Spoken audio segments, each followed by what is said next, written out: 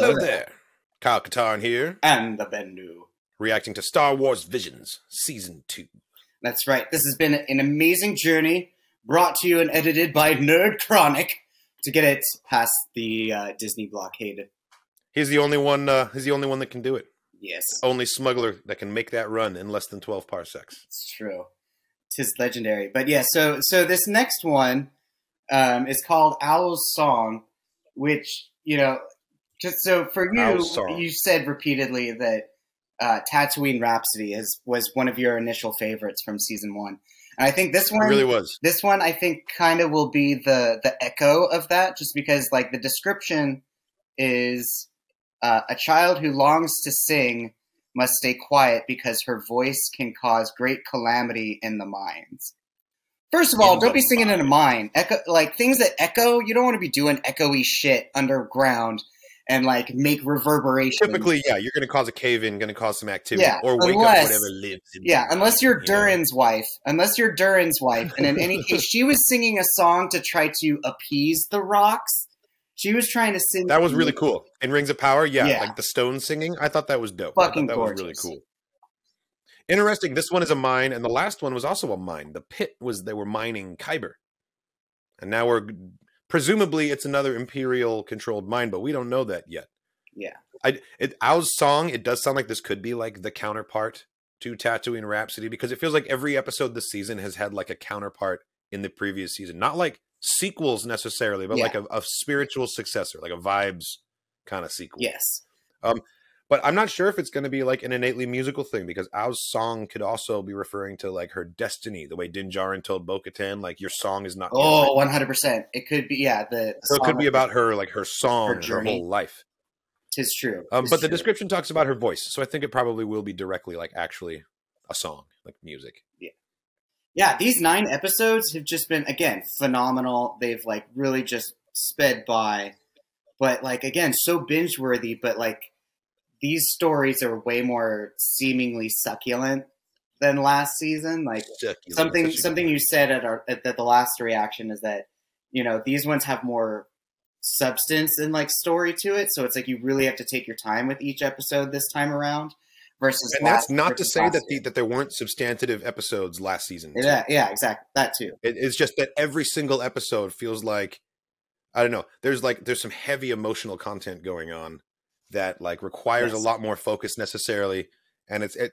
Some of them have been lighthearted, but overall it feels much less lighthearted in tone than season. than one. season one exactly yes And I think the red the red Visions logo was was like the writing on the wall going into this that this was going to be a darker a darker season of stories. And you know what? I'm I'm loving I'm- it. I really am. Awesome. Are you ready, best friend? i am this moon for our final reaction to Visions Season 2. Do it! The world of Korba was once rich with force attuned Kyber, the crystal at the heart of the Jedi lightsaber. tis true The Kyber's power was praised throughout the stars until an ancient order of the Sith poisoned it, leaving it corrupt with the blood red glow of the dark side. fuck yes Okay, nice. Over generations, Korba's people learned to mine the corrupted Kyber for the Jedi, who, through sta- painstaking effort, could restore the crystals to their natural, harmonious state. that would make sense i mean if you could bleed a crystal there's no reason why you can't If yeah, if, if Sith bleeding crystal. exists, then Force cleansing must also exist. Beautiful. force- I love it already. it's very hobbity already very hobbity very willow Is it stop motion? I can't tell. Sometimes it's CGI that emulates it. No, this is straight up stop motion, I think. Beautiful. Looks like Batuu, honestly. It reminds me of uh, actually where the Southern Air Temple is. Sweet. Look at that ship. You climbed all the way up there just to jump down, girl. Well, she she climbed all the way up there to hear the voices on the wind and commune with nature through her song. True. She What a cozy little house. Fort security. She'll be here soon. Aw, a little side shuffle. Gotta- Gotta carry the teapot with two hands. I like the little ant trail. We saw that earlier too. This new mine shaft holds some of the darkest bled kyber I've Okay, so it is another kyber mine. It says bled. More corrupt than old Jedi like me can purify.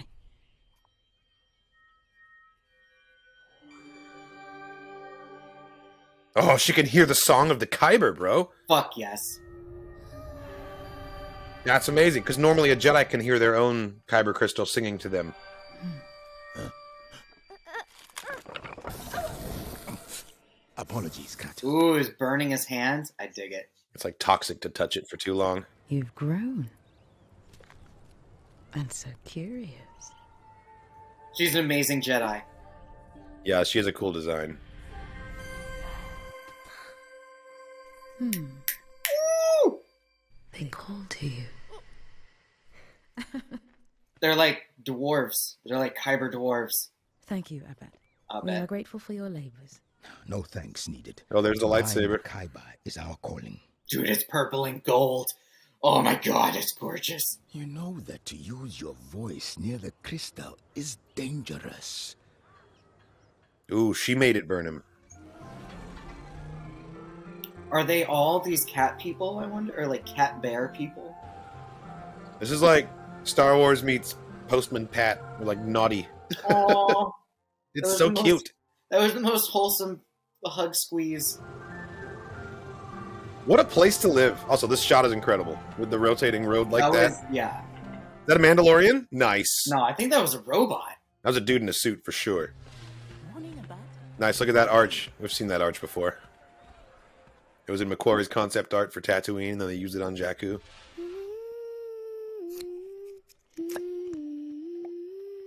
Oh my god, it has eyes. It's a little parasite guy.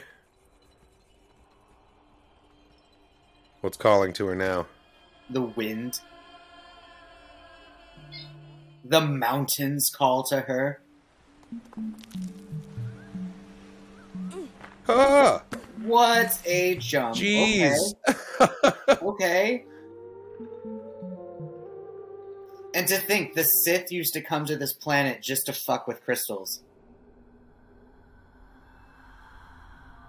Oh, that was Oh, such a that cool was an shot. awesome shot. It was like a drone shot.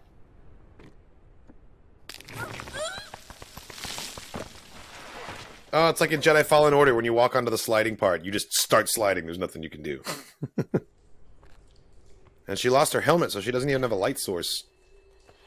Oh, come on, girl.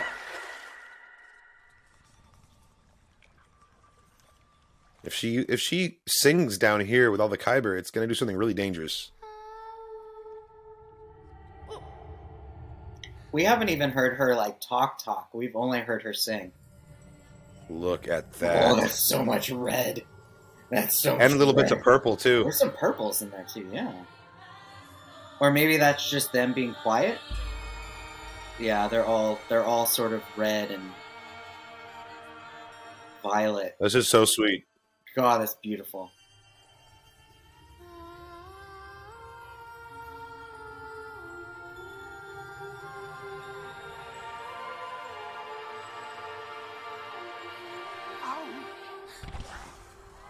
Why did you interrupt her?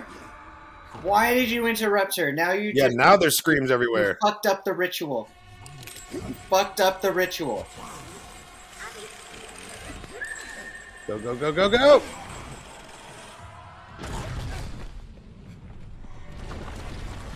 Oh, shit. No! No, God, no! Just start climbing, Dad! Ow. Throw her the rope. Throw him the rope. No, don't do it. Don't do it. Come on. Come on. Yes! Let's go! What? What? Holy shit, she got to the ground before them. Are you able to run? It's okay, Abby.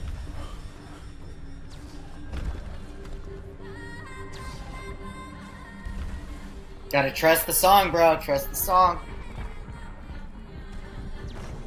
I wonder if this would have happened if, if she hadn't been interrupted, though.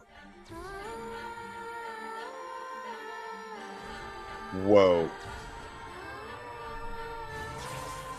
Oh my god, I love it. I love it so much.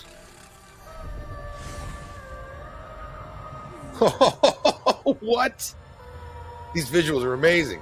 Dude, I'm about to start tearing up. She purified all of it.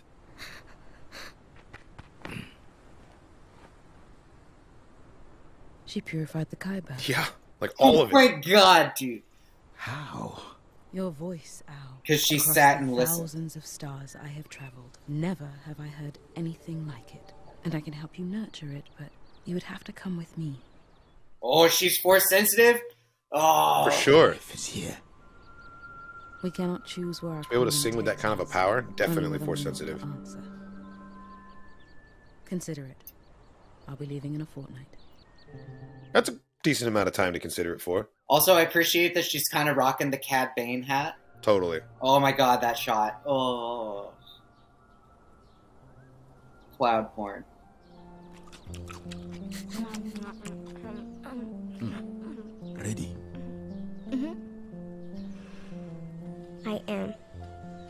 Oh, that's the first time we heard her talk. She said her dad's name when he was clinging too. Oh, that's true. That's true. You're the first of our kind to step out into the stars. Aau. I'm proud of you. Hmm. I want to see Abby.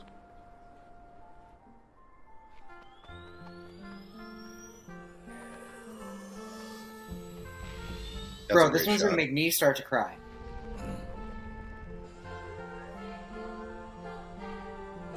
This one's so like uplifting and optimistic and hopeful. Compare it to Oh the God, to the girl in. Street in Screecher's Reach going with the the Force user at the end. Like, oh, that was awesome. That was just like touching That was a and, good and ending. and the fact that her song was so pure that she was able to purify the entire set of Kyber. And now we're getting to listen to it again. Is it because of is it because of like her her level of power within the Force, or is it because of her her innocence and therefore purity? You know, I think she. I think it's just like like how Ezra is able to talk to animals. I think with her, it's just or or Ollivander. So if I were to use a Harry Potter reference, like how Ollivander or or the Wand Smiths, how Like the whole wands are able to talk to wood, thing. and how wand smiths are able to talk to like the cores of wands. Like it would totally make sense. Totally. Or the or the fucking the lightsaber smith in season one. Like like he was kind of Yeah. able to li- able to listen to the crystal. You know what I mean? So we've heard about this happening, but this is the first time that like, man, that was moving. Like that's it's like the Force chose her to be a conduit for like Force cleansing to like rebalance the Kyber. You know, that was that's yeah. That one was moving. That one was really really cool. And with that, we've watched all of season two of Star Wars Visions. Um, I think in terms of overall thoughts, I, I really liked it. I, I didn't dislike a single episode. I thought they were all bangers this time around. Yeah. Awesome. yeah, Um, yeah. they were all like, not necessarily all of them more dark, but there was definitely like an intensity and like a heaviness to the subject matter. And and like with the exception maybe of Aau's song, they all they all involved like a like a degree of tragedy as well. So like I, I think I think the the show has kind of grown up in a way, which is a weird statement to make because it's not like it's one group of people making all of these episodes and it's not like there's a storyline. But season one felt like its first foray into this idea and like it was a whole lot of proving we can do this and like reimagining it as that yes, and, yes. and this one this i felt like the stories of this season were less about the reimagining of star wars and more about the messages you can tell through reimagining star wars through Star Wars, yeah. But like between Through Star Wars, exactly. song, between our song and the Bandits of Golak, like we had two different uh force sensitive kids, two force sensitive like little girls, which is fucking amazing. Like getting to to find their new masters and like you know kind of go off and learn learn what it is to to be their individual selves. But I don't know. There's something I don't know. I don't know. There was something different about Aau. I don't know if it's because they were made out of felt. So like everything about their their everything about it was, was cute There was just something Everything was, like, Ghibli, cutesy. like Studio Ghibli about it, and just like yeah, I don't know. This one, i thought the, I thought the to me. environments in this one in particular were really really really good like the vistas the, the the perspective shot of when she was in the ship at the end watching the ground get further away like it looked really really good it was really convincing um the little village on the side of the mountaintop like uh, it looked so good i want to know how much of it was in fact physical stop motion and how much of it was like continued on in the distance in cgi because i'm yeah, sure that there's a point yeah. where, that, I was thinking that cuts yeah, off you that know? question. That's a good one. And the shot of them on the on the speeder heading into town, and like they were stationary and the road was moving, and then the background was slowly getting closer. That was awesome. That was probably my favorite shot, actually. This whole season was so was so good. This whole season was so Yeah. good. Oh I find it interesting how many common themes it had, considering that it was done by so many different separate studios. Like, so many of them seem to be about motherhood and like the bond between a mother and their child.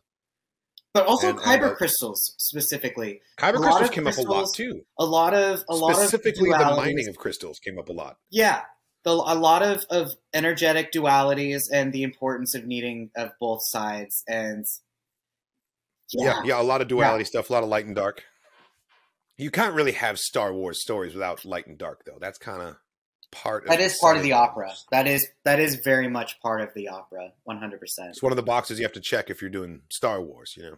Is there a light and dark aspect? Even Andor, even Yeah. Andor had its light and dark aspect, so it's like it's true. Oh, one hundred percent, one hundred percent. It's it's all about that dichotomy, Yes, yeah. and, and like, there- it's very fascinating to focus on people who think they're good guys who are actually bad guys. Bill You know, Skarsgård. That just makes Saw because Gerrera, that just makes fucking Saw that just makes the dichotomy even more complex. You know, Yeah. or even like Dedra Miro and Syril. You know, they're definitely bad people. They definitely think they're good people. people. yeah, one They hundred think that they're good people. That's the crazy Well, part. they're just Like, citizens. and they're people just like that normal exist in ass the galaxy, citizens, too. but they're but they're they're like intrinsically like I don't know. It's like if you were to meet them on the street, him or his mom, you'd be like, "Yeah, you guys aren't good people." like, you know, like that's just character. It's just character build. No. and and acting. That's just brilliant acting. I think. But yeah, No one out there is like, I'm the bad guy. Everyone thinks that they are the good guy, and some of them are just misunderstood. But like that, and that's the scary ah. part. Is that there's people I like literally Grand ISB Tarkin commits ISB atrocities. He doesn't think he's the bad guy. He the, doesn't the think he's the entire. ISB, like they're they're Don't think they're the bad guys. They think that they're the heroes for bringing order, for rooting out like rebellion and, That's and outrage and stuff. They think they're they think Ugh. they're cleaning up the streets. They don't see it as murdering people, disappearing people. They think that they're cleaning up. even though they're telling literally you, man, torturing No one thinks that there's a bad guy, Even though they literally- the bad guy. even though they literally torture people and they come up with new ways to torture people to like find out Be- the and they- but- ends. And right alongside those new methods of torture, they come up with new rationalizations and justifications for why it's okay to torture these people. so villainous so villainous that's the that's really the insidious part isn't the torture? It's the mind games behind the torture being like this is okay. It's good in fact and here's why. And i'm allowed why. to torture this guy. Yeah. Yeah. i can torture you because of what you did. It doesn't have a reflection on me even though i'm a torturer now. It's like no. You can't divorce yourself from the whole process like that. That's, not how it exactly works it. That's that's exactly not how it works. god damn but the isb is never going to ask those questions we just themselves. figured it out. We And- just cracked we just cracked it. Yeah. Oh, crack the code crack the dichotomy code. Amazing.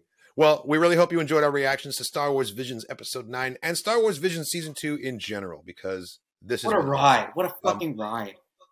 Seriously Oh. though. uh, let us know in a comment below what you think of this episode. Did you enjoy it? Did you hate it? Did you love it? What do you thought of the other episodes and the overarching overarching themes as well? Oh the saber hilt customizations too? Can we just talk like for a hot second of like i feel like i need like we saw so many cool and colorful hilts like even the one that we just yeah saw, some of the sabers were gorgeous like she had, absolutely gorgeous he had like pinkish purple like fuchsia hilt with like metal accents like it almost looked like kyle like Katarn's gemstones hilt. around the pommel Yeah, it almost looked like Kyle Katarn's hilt, but with like gold, purple, fuchsia coloring to it. It was fucking Totally, totally. It was it was really nice. I really liked the um the saber from Sith in the very beginning with the yellow curved blade going one way and then a red curved blade going the other way. fucking Yeah, so They're so elven. there were so They're many so cool saber elven. designs in this. Honestly, yeah, yeah. No, this was dead. And I also really liked the uh, like the cane gaffi stick staff that split in the middle. I thought that was super creative. We've never seen a blade do that before. I feel like you have to be really careful splitting it and turning it on, or you're gonna like cut your hands off. or just break your cane in general, right? Like I guess it depends. it's like on, a, it's like an iaido, like an iaido kind of discipline where it's all about unsheath, kill, and sheath again in a single fluid motion. exactly. Like all of the skill probably goes into turning that thing on rather than using it as a weapon Yeah. because it's so dangerous to just activate. Man, yeah, this was know. really it really looked cool. like the way she did it. She like she had to activate it by like going sideways like a glow stick. But then like yeah, I don't know. She had to like twist, and then as she pulled it apart, Yes. she also activated the blades. Yes. Yeah. That's what happened. It was a yeah, one hundred percent. Fuck yes, That's totally what it was. It was Fucking dope. cool. It was dope. fucking cool. Well, thanks for watching, everyone. Leave us leave us a comment. Let us know what you think. Shout out to Nerd Chronic who edited this reaction for us down to down to ten minutes for fair use. If you want to watch the full length version of it, it is available on our Patreon. There's a link in the description of the video to the Patreon page. Thanks again, and as always, may the force be with you.